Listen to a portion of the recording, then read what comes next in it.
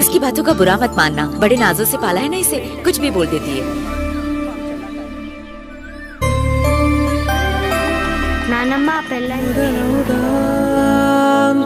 एक आम इंसान कभी नहीं सोचता कि ज़िंदगी में ऐसा भी कुछ होगा।